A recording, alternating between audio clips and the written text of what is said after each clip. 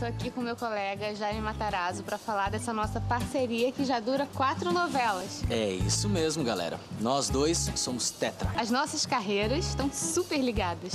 É, Atualmente, a gente está vivendo a história emocionante da Júlia e do Pedro em Sete Vidas. Nossa primeira novela juntos foi Cordel Encantado.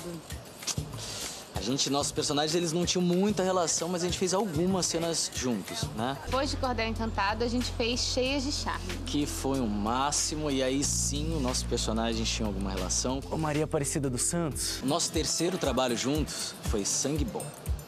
A gente estava na mesma novela, mas nossa, nossos personagens não tinham uma relação muito estreita. A gente até se conheceu em algum momento.